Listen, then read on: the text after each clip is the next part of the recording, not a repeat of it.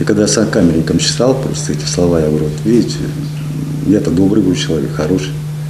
Они говорят, Дантес, говорит, если ты, говорит, добрый и хороший, тогда это, говорит, тогда, говорит, мир совершенно говорит, другой, говорит, наш, говорит, блатной. А, я ее очень долго не видел, но вот как она мне запомнилась, когда я было 7-8 лет. Почему я и казался добрым? Потому что однажды я уже как-то говорил, что заступился за нее. И с этого момента я показал, что я самый добрый человек, потому что я защищать готов. А... Наверное, Владимир, и вы остались в ее памяти именно тем неизмененным человеком, который заступился за нее, может быть, первый раз в жизни. Я рад, что ее не было на суде, когда меня судили, и что она не слышала то, что зачитывал судья. И вот она меня поддерживала два года. Писал очень часто, таким детским почерком, я помню. Письма я носил всегда в кармане, в грудном. И очень, они меня утешали просто.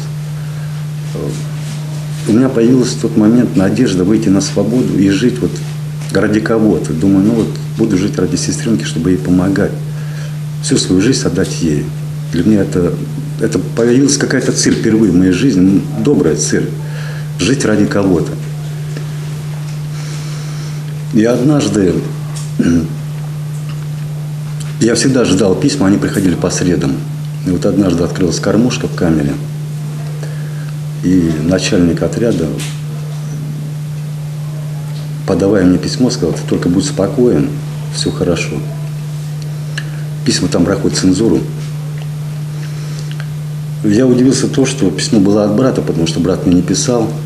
Он был в армии, служил в Сверловске. Меня удивил, думаю, брат вспомнил меня. И когда я прочитал, в общем, там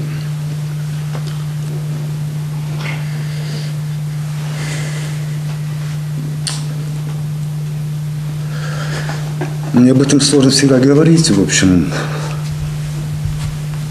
Когда я прочитал, что сестру убили,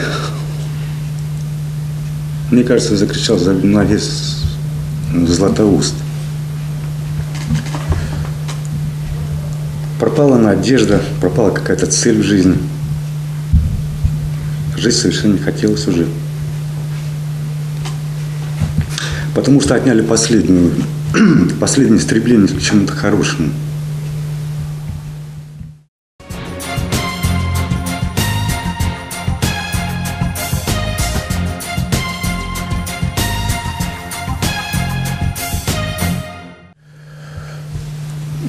Я, наверное, неделю вообще ни с кем не разговаривал, просто лежал на наре.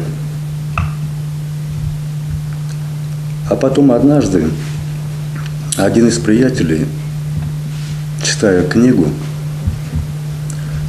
я сейчас не помню, по-моему, Толстого он читал. Мне говорит, братва, а тут вот пишет, что Бог есть. Когда он нас сказал, что есть Бог, у меня какая-то ненависть внутри появилась. Я соскочил, вырвал у него эту книгу, бросил ее к параш. Я говорю, какой Бог? Если у меня, говорю, дорогого самого, говорю, человека, сестренку, говорю, отняли. А потом однажды, понимаете, я не знаю, откуда пришла эта мысль, но вдруг, вдруг я впервые в жизни за все время понял, насколько больно бывает людям, когда им что-то делаешь, наносишь какие-то удары. Я вдруг вспомнил того парня, которого убил приятель своего, это было во время разборок. Я вдруг представил мать этого парня. И думаю, если мне так больно, я потерял сестру, а она потеряла сына своего. И вот эта мысль, она как червь стала душу мою беспокоить. А потом такой наступил момент, что просто хотелось покончить жизнь с этим гулагом советским, проклятым, вонючим. И когда все ушли в душевую, нас каждые 10 дней водили. Я притворился, что я больной, остался в камере. Но вот те слова, которые заключенный сказал, что есть Бог, они все-таки где-то подсознание, наверное, у меня остались. Когда все ушли, там из, из носков обычно там распускали носки и плели там веревки всевозможные разные. Из нейлоновых носков.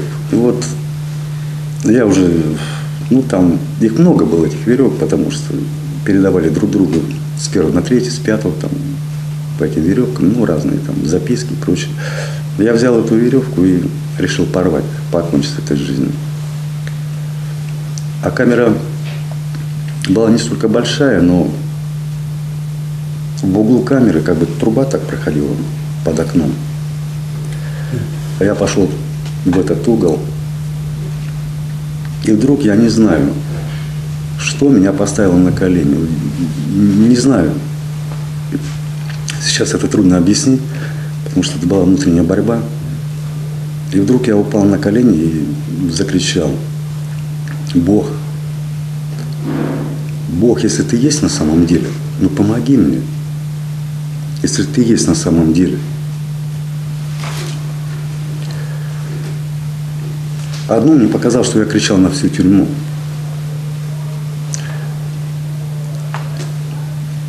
У меня челюсти одеревенели, потому что это впервые я произнес, вернее, обратился к какому-то Богу, которого я не знал. Тем более встал на колени. Мне казалось, что вся тюрьма, наверное, там загудела. Или рухнуть должна. Но самое главное, слава Богу, была тишина. И вот эта непонятная тишина пришла в мое сердце. Мне вдруг стало спокойно. Только слезы побежали. И стало спокойно. Я упал на нару. И вот, может быть, впервые тогда за все время я почувствовал умиротворение внутреннее. Почему? Я не знал, я не мог этого объяснить. Вот. Так впервые я, не зная Бога, обратился к Богу. Ну, многие знают это чувство, чувство ощущения неведомого Бога. Еще древние греки об этом говорили. Но это было ваше первое прикосновение Да. к Богу. А скажите, Владимир, вот э, вы коснулись этой темы, что вы все-таки, как вам не тяжело было, убили человека, лишили кого-то жизни. Хорошо, что вы вспомнили по аналогии со своей судьбой, судьбой вашей сестры, вспомнили мать этого человека. Вы когда-либо с ней встречались, потом писали ей? Было какое-то обращение к ней? В 92 году, когда я освободился, у меня было двоякое чувство поехать туда на родину, на Урал. Хотя я знал, что у меня там никого не осталось. И другое останавливало меня, потому что ну, уже зная Бога, уже зная, что такое добро, сложно заглянуть в глаза тем людям, которым ты принес необыкновенную боль, невыразимую боль. Да, я ездил туда. Я видел ее. Мать. Да, я просил у нее прощения, она ослепла. Это была совершенно не та женщина, которую я знал, я ее прекрасно знал с детства, потому что мы дружили с семьями. То есть вы убили своего друга? Приятеля, да. Ну, это было, это были разборки просто. Когда забывалось, кто друг, кто враг. Да, кличка у него была армян. Он был армянин. Нет, просто кличка была армян. А ваш Дан- Дантес. Да.